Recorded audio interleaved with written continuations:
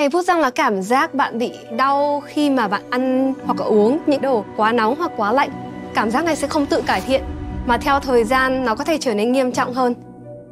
Tôi chọn kem đánh răng Sensodyne Repair Protect Deep Repair vì sản phẩm này có thể giúp phục hồi và bảo vệ răng của bạn. Khi mà khách hàng phản ứng lại một cách tích cực là họ bớt bị ê bút răng hơn thì mình cảm thấy rất là vui. Đây là một sản phẩm rất có hiệu quả.